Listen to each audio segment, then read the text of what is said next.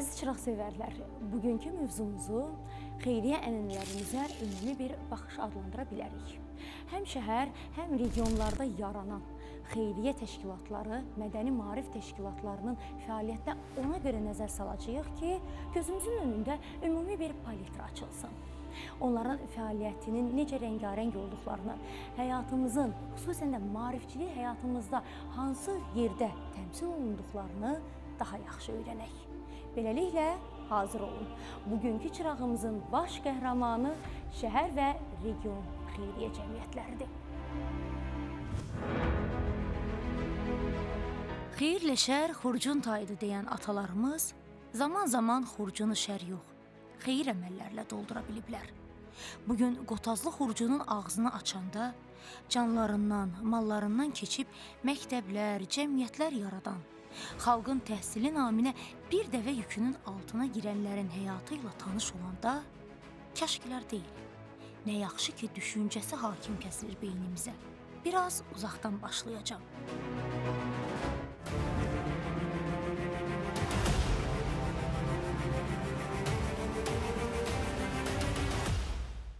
Azərbaycanda təşkilatlanma, cəmiyyətin institutlaşması, bunlar əsasən başlayıb 1905-ci il inqilabından sonra. Nəyə görə?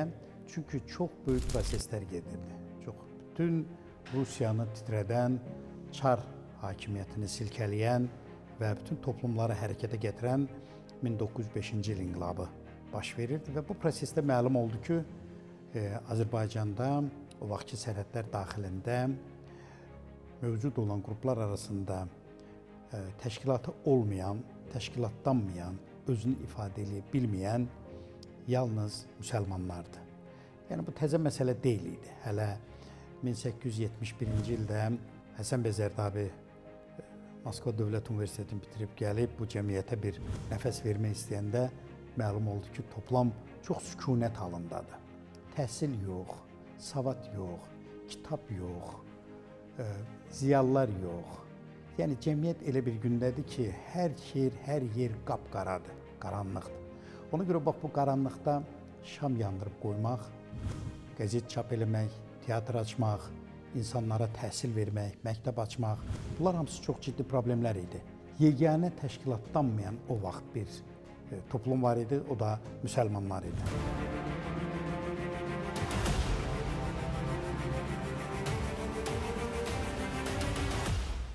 19-cu əsrin sonlarından və 20-ci əsrin əvvəllərindən başlayaraq Azərbaycanda çoxlu sayda xeyriyyə cəmiyyətləri yaranmağa başladı və bu xeyriyyə cəmiyyətlərinin əsas məqsədi Azərbaycan toplumunu maarifləndirmək, onlara təhsil vermək, onların e, problemlərini həll etməkdən ibarət idi və əsas onları maarifləndirmək idi.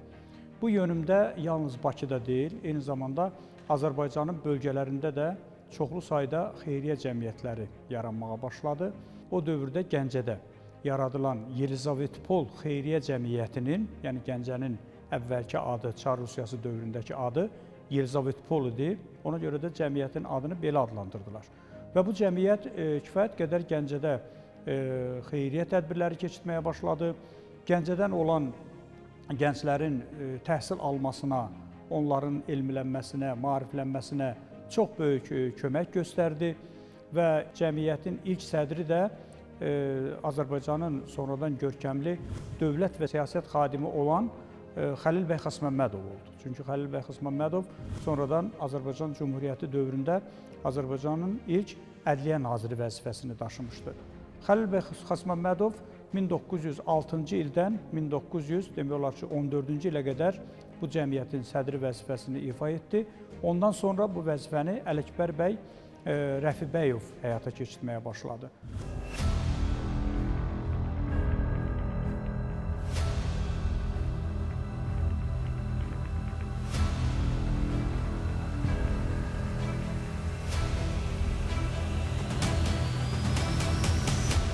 Bakıda Nəşr-i Maarif, Nicat, Səfa, Səadət cəmiyyətləri yaranarkən Naxçıvanda, Gəncədə, Şuşada, Şəkidə də həyat sönük qalmırdı.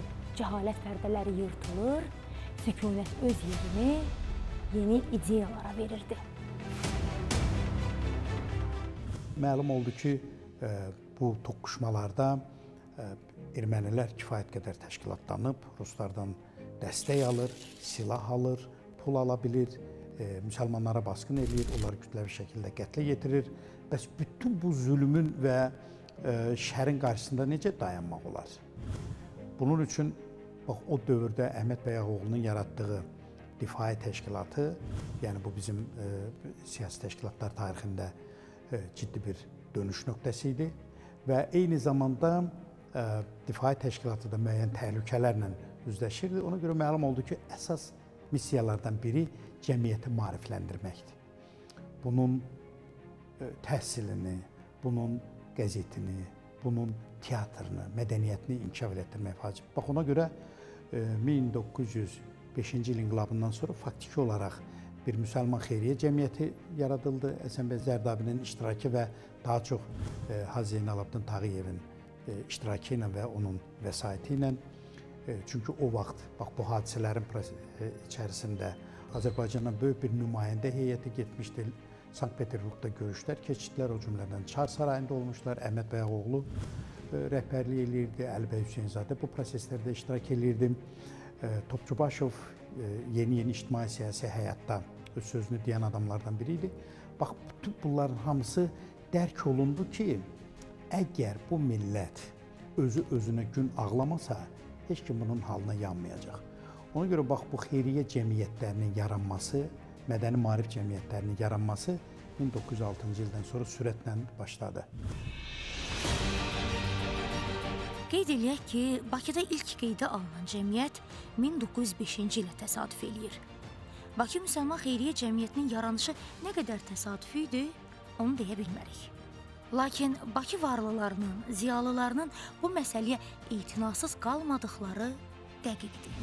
Hacı Zeynalabdin Tağıyev, Əlimərdan bəy Topçubaşov, Əhməd bəy Ağaoğlu, Əli bəy Hüseynzadə, İsa bəy Hacınski və başqaları bu cəmiyyətin yaranışında fəal idilər. Bölgələrdə də bu işə cani könüldən yanaşılır. Millətin istiqbalını təhsildə, tədrisdə görənlərin sayı durmadan artırdı. Gəncədə olan çoxlu sayda ziyalılar bu cəmiyyətin ətrafına toplaşmışdılar və ilk növbədə mən qeyd etmək istəyirəm Ziyad Xanovlar nəslinin nümayəndələrini ki, onlar Gəncənin məşhur nəsli idi. Sosial təminat naziri olan Musa bəy Rəfiyevin adını qeyd etmək istəyirəm ki, o da bu cəmiyyətin əsas fəallarından biri idi. Gəncədə ə, e, bu dövrdə Yerizavetpol Xeyriyyə Cəmiyyətinin ən böyük işi 1-ci Dünya müharibəsində e, e, demək olar ki, köməksiz insanlara dəstək olması idi. Qeyd edim ki, həmin dövrdə Gəncə bölgəsində xüsusən 14-15-ci illərdə böyük ərzaq böhranı baş verdi. Ərzaq böhranının aradan qaldırılması üçün bu cəmiyyətin çox böyük fəaliyyəti oldu. Gəncədə hələ 1880-ci ildə Gəncə Kişi Gimnaziyası əsasında xeyriyyə cəmiyyəti yaranıb. Əsas məqsəd sadə və aydın idi. Şagirdləri dərsliklərlə təchiz etmək, onlara maddi yardım göstərmək. Üstəgəl müsəlmanlar arasında savadın, ibtidai təhsilin geniş vüsət almasına şərait yaratmaq. Yenə Gəncədə yaradılan digər bir cəmiyyət Müsəlman aktyorları cəmiyyəti idi ki, bu cəmiyyətin yaradıcısı Xudadad bəy Rəfibəyovdur. Və çox maraqlıdır ki, bu cəmiyyətin tamaşaları o dövrdə Gəncədə məşhur bir e, teatr binası vardı. Adı Projektor adlanırdı. İndi bilmirəm Gəncədə o bina qalır ya qalmır, yəqin ki, onu biraz arxivlərdən axtarıb tapmaq lazımdır. İlk teatr binası Projektor adlanırdı. Və burada artıq e, müxtəlif e, əsərlər e, tamaşaya qoyulmağa başladı və e, qeyd etmək istəyirəm ki, e, demək olar ki, e, Gəncədə e, 1916-cı ildə Paspelovun dəstəyi ilə ilk sirk binası da tikildi. Yəni demək istəyirəm ki, Gəncədə bax xeyriyyə cəmiyyətlərinin bu cür e, faydalı işləri vardı və görülən ən böyük işlərdən birini mən xüsusi olaraq qiymətləndirmək istəyirəm. Bu da Mirzə Məhəmməd Axundzadənin e, ilk dəfə olaraq teatr haqqında kitab yazması və xeyriyyə cəmiyyəti tərəfindən həmin kitabın nəşr edilməsi idi. Kitab belə adlanırdı. Teatr nədir? Deməli bizim teatr tarixi haqqında danışanda birinci Gəncədə çap edilən Teatr nədir kitabını biz e, diqqətə almalıyıq və bu kitabı da həmin xeyriyyə cəmiyyəti çap etmişdi. Əlavə bir məlumatı da demək istəyirəm ki, yenə həmin xeyriyyə cəmiyyətinin dəstəyi ilə o dövrdə Gəncədə məşhur olan Hacı Həsən mətbəəsində Mirzə Məhəmməd Axundzadənin Nizami Gəncəvi haqqında ilk kitabı çap edildi. Nizami Gəncəvi haqqında ilk kitab məhz Gəncədə çap edilib və həmin xeyriyyə cəmiyyətinin dəstəyi ilə. Yəni Gəncədə bu istiqamətdə xeyli işlər görülürdü.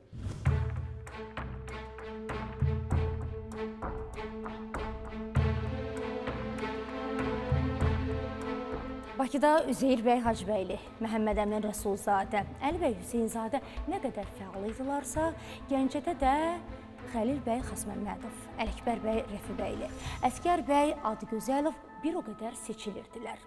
Yelizavetpol Müsəlman Xeyriyyə Cəmiyyəti, Gəncə Müsəlman Dram Cəmiyyəti, Gəncə Aktyorlar Cəmiyyətinin sayəsində indi dediklərim apaydın şəkildə təsdiqini tapır. İlk dövrdə biz ancaq 5 cəmiyyətin adını çəkə bilərik ki, bunlar bizim xeyriyyə e, cəmiyyətləri hərəkatı tarixində önəmli yer tutur. Bu Nəşr Maarifdir, bu Nicat Cəmiyyətidir, bu e, Səfa Cəmiyyətidir, bu Səadət Cəmiyyətidir və bir də e, Həmiyyə təşkilatıdır ki, bunun da fəaliyyəti çox uzun müddət davam eləmədi. Amma faktiki olaraq iki təşkilat əvvəldən sona qədər 18-ci ilə qədər çox belə cəmiyyətə fayda verdi. Bu Nicat Cəmiyyəti ilə Nəşr Maarif idi. Nə idi bu xeyriyyə cəmiyyətlərinin işi? Birinci növbədə təhsilə, birinci növbədə kitabxanaların açılmağına, qiraətxanaların təşkil olunmasına, məktəblərin işə düşməsinə, kitabların, dərsliklərin çap olunmasına, e, kitab və nəşr məlumatları, yəni vərəqələrdir və s. bunlarla bağlı. Xeyir xəbər ağır ayaq olar deyiblər, amma ağır olmurdu bu xəbərlər. Bakıda açılan xeyriyyə cəmiyyətlərinin sədası bütün regionlara çatırdı. Naxçıvan Xeyriyyə Cəmiyyəti, Salyan Maarifçilik Cəmiyyəti, Şuşada Musiqişünas Cəmiyyəti də olsun onların öncərgəsində. Bu gün artıq azad bölgəmiz olan Şuşa haqqında danışmaq istəyirəm ki, Şuşada 19-cu əsrin sonlarından 20-ci əsrin əvvəllərindən artıq xeyriyyə cəmiyyətləri yaradılmağa başlamışdı.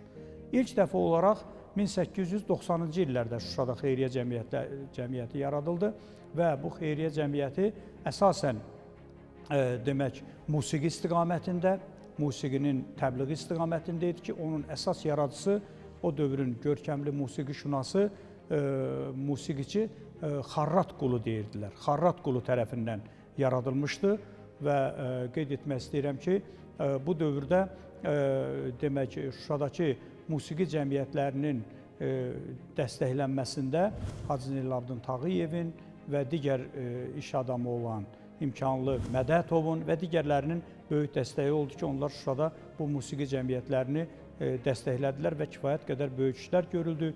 Gənc müğənnilərin araşdırılmasında, ortalığa çıxmasında bu cəmiyyətin çox böyük e, rolu oldu və s.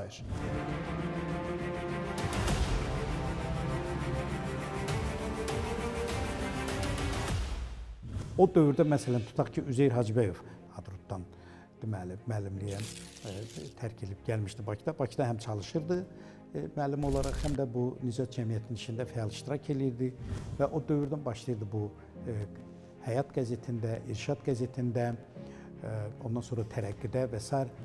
əməkdaşlıq eləməyə çalışırdı. Yəni bu adamlar arasında çox sıx gözəl bir münasibət, onları ictimai ideallar birləşdirirdi. Milli ideallar birləşdirirdi bu adamları. Amma burada məqam nədir? O vaxtın Bakı milyonçuları da, yəni əlbəttə e, tarixə düşmüş milyonçular var ki, bunlar da vəsaitlərini əsirgəmirdilər. Düzdür, bunların hamısı Zeynalabdin Tağıyev qədər belə e, kisəsinin ağzını geniş açmamışdı teatr üçün, mədəniyyət üçün, yazıçılar üçün. Amma hər halda pul verirdilər və o deməli cəmiyyətlərin büdcəsi bax onların pulu hesabına formalaşırdı. Bundan başqa e, cəmiyyətlər özləri müəyyən performanslar təşkil edirdilər, gecələr təşkil edirdilər, gəzintilər təşkil edirdilər. İndiki dillə desək, e, konsertlər təşkil edirdilər. Orada da xeyriyyə məqsədi ilə pul toplanırdı. Həmin toplanan vəsait də təhsilə, qiraətxanaya və kitabxanaların açılmasına, qəzetlərin çap olunmasına sərf olunurdu. Elə cəmiyyətlər var idi ki, bunların özünün nəşri də var idi. Məsələn, tutaq ki, Nicat cəmiyyətinin Eynad da qəzeti də çap olunurdu. Buna bülletin demək olar daha çox, çünki gündəlik ictimai-siyasi qəzet sayılmırdı.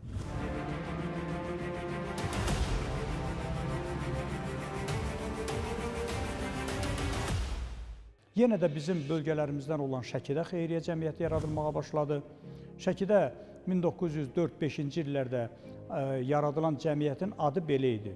Nuxa şəhərində təhsilin inkişafına kömək cəmiyyəti yaradıldı və bu cəmiyyətin əsas məqsədi həm Azərbaycan, həm də rus dillərində təhsil alan Nuxalı, Şəkili gənclərə kömək etmək idi. Və qeyd etmək istəyirəm ki, hətta 1916-cı ildə Şəkidə Müqəddəs Nina Cəmiyyətinin nəzdində ayrıca bir qızlar məktəbi də açıldı. Yəni Şəkidə də xeyriyyə cəmiyyətləri kifayət qədər fəallıqlarını artırmışdılar. Və Naxçıvanda yaradılan xeyriyyə cəmiyyətləri haqqında danışmaq istəyirəm. Naxçıvanda yaradılan ilk xeyriyyə cəmiyyəti 1883-cü ilə təsadüf edir. 1883-cü ildə e, deməli e, Naxçıvan xeyriyyə cəmiyyəti yaradılır və bu cəmiyyətin əsas məqsədi Naxçıvan bölgəsində Avropa mədəniyyəti elementlərini yaymaq, təbliğ etmək və burada olan gəncləri elmləndirmək, maarifləndirmək və onların məktəblərdə oxumasını təmin etməkdən ibarət idi. Müsəlman İncəsənət və Dram Cəmiyyəti 1883-cü il Naxçıvan şəhəri Mirzə Ələkbər Sultanov, Qurbanəli Şərifov, Məmməd Tağı Səfərov ilk teatrı təşkil edən maarifpərvər, tərəqqipərvər əməlləri ilə yadda qalan insanlar idi. Naxçıvanda ilk dəfə teatrın təşkili də bu ziyalıların adı ilə bağlıdır. Mirzə Fətəli Axundzadənin Monsieur Jordan və Dərviş Məstəli Şah piyesi tamaşaya qoyulur. Özü də Hacı Nəcəf Zeynalovun bağçası tamaşa üçün əsl səhnə halına gətirilir. Uğurla alınır səhnə əsəri. Ardınca 1888-ci ildə dramaturqumuzun daha bir piyesi tamaşa həyatına vəsiqə qazanır yenə Zeynalovun evində. Amma bu dəfə Hekayət-i Molla İbrahim Xəlil kimyagər tamaşası. Artıq teatr, sənət, maarifçilik hərəkatı qapıdaydı. Təkcə Hacı Nəcəf Zeynalovun deyil, həm də bütün məmləkətimizin, bütün regionlarımızın qapısında. Dil məsələlərinə xüsusi diqqət yetirilirdi. Ana dilində təhsilə xüsusi diqqət yetirilirdi. Çünki o bütün çar idarələrində yazı, pozu bu işlərin hamısı rusca idi və deyək ki, e, savadı olmayan əhali bundan xeyli əziyyət çəkir. Nə hüquqi maariflənmə var, nə xüsusi təhsil var. Ona görə ana dilində təhsil almaq çox önəmli idi. Və e, ona qədər də əl, əlbəttə bu xeyriyyə cəmiyyətlərinə qədər e, bir hümmət siyasi təşkilatı var idi və bu təşkilatda hələ e, 1903-cü ildə Məmməd Əmir Rəsulzadənin 19 yaşında yaratdığı Gənc Müsəlman Türk İnqilabçıları Dərnəyi belə bir dərnək formasında düzəltmişlər ki, polis bunun izinə düşməsin və bu dərnəkdə də kimlər iştirak edirdi? O dövrdə Bakı kolleclərində, indiki dinləncə texnikumlarında, e, orta məktəblərində təhsil alan şagirdlər. Əsasən bunlar buradan gəlirdi, amma bunların da vəzifəsi ondan ibarət idi ki, ana dilində vərəqələr yaysınlar. Ana dilində şeirlər əzbərlənsin, fəhlələrin qarşısında bunlar çıxış eləsin. Yəni ana dilinin işlənmə E, deməli arealını genişləndirməkdir ki, o təkcə evdə, məişətdə danışılan dil deyil, həm də cəmiyyətdə aparıcı dillərdən biridir. Bax ona görə Nicat cəmiyyəti də, Nəşr Maarif də e, bax bu məsələlərə xüsusi diqqət yetirirdi. 19-cu əsrin sonu, 20-ci əsrin əvvəllərində Bakıda, Şuşada, Salyanda, İrəvanda, Şəkidə, Naxçıvandakı xeyriyyə cəmiyyətlərinin gördüyü işlərə fikir verəndə insanın qəlbi fərəh hissi ilə uçunur. Nə xoş bizə ki, vətənimiz qısıtlı, məhdud bir çərçivədə qalmağı kafi saymamış, həm də Avropa mədəniyyətinə qucaq açmışdı. Yaxşıya yaxşı deyib gözünün üstündə saxlayan teatrı, operanı, kinonu yad bilməyib ənənələrimizi bu incəsənət növləri ilə süsləyən də yenə yurdumuz olmuş. Türk balası qurdolar, basdığı yer yurd olar deyib nə oxumuş tariximiz həm də ona görə qutsaldı ki, bu məmləkət yurd, ulus olmağın haqqını çoxdan verib. haqq iş günəşdən də aydın olar deyən atalarımıza bu dəm min dəfə əhsən düşür.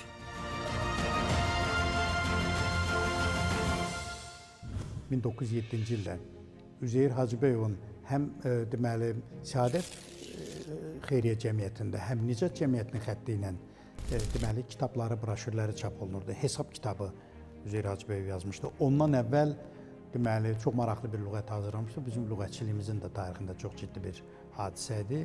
1907-ci ildə deməli rusca, türkcə, siyasi, iqtisadi, hərbi terminlər lüğəti. Bu çox maraqlı bir lüğət idi. İndi bizim ə, hörmətli akademik Rafael Hüseynov onu yenidən bir neçə il bundan əvvəl ə, çap elətdirdi. Latın əlifbası ilə çox maraqlı lüğətdir. Və insanları nə məcbur eləyir? Üzeyir Hacıbəyovu nə məcbur eləyir? Məmməd Əmir Rəsulzadə Nicat Cəmiyyətinin sədri kimi o kitabı çap eləməyə, ona ön söz yazmağa nə vadar eləyir? Milləti öyrətmək, onu maarifləndirmək, onun gözünü açmaq, onun dünyaya daha, daha geniş baxmasına şərait yaratmaq.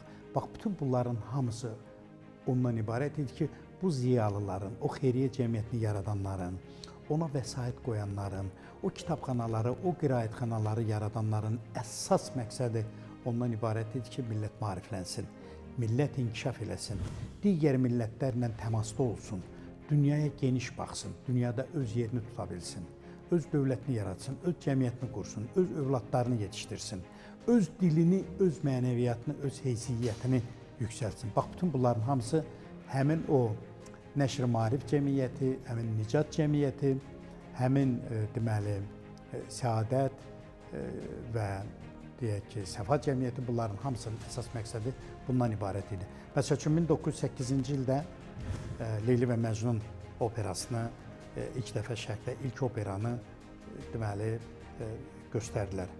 Və bunun təşkilində heç şübhəsiz ki, Nicat Cəmiyyəti, yəni o vaxt Rəsulzadə rəhbərlik edirdi və Məmməd Əmir Rəsulzadə ilə də bunlar çox yaxın dost idilər və ömür boyu da bu davam elədi. Cümhuriyyətdən sonra yollar ayrılsa da, biri mühacirətdə olsa, biri burada olsa da, amma milli ideallara, ictimai ideallara sədaqət yenə də onları mənən, ruhən birləşdirirdi.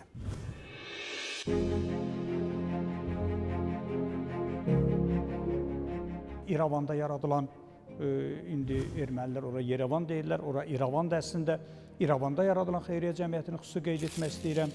Təxminən İrəvan xeyriyyə cəmiyyətinin 40-a qədər üzvü Azərbaycanlı xanımlar idi. Yəni xanımlar burada çox fəallıq göstərirdilər və İrəvan quberniyasında olan uşaqların təhsil almasında, məktəblərə getməsində, elmlənməsində İrəvan xeyriyyə cəmiyyətinin çox böyük rolu oldu və e, İrəvan e, deməli xeyriyyə cəmiyyəti bizim tariximizdə çox, çox dərin izlər qoydu.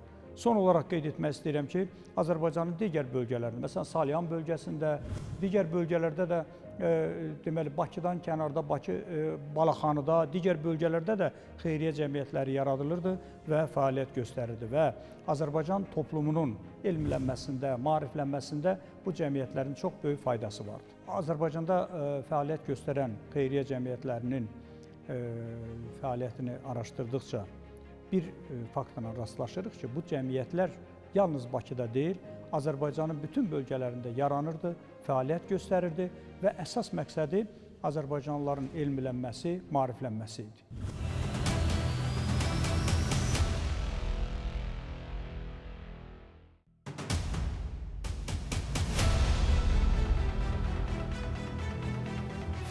Bu gün 20-ci əsrin əvvəllərində təşəkkül tapan xeyriyyə cəmiyyətlərinə, aparıcı mədəni maarif təşkilatlarına ümumi nəzər yetirdik.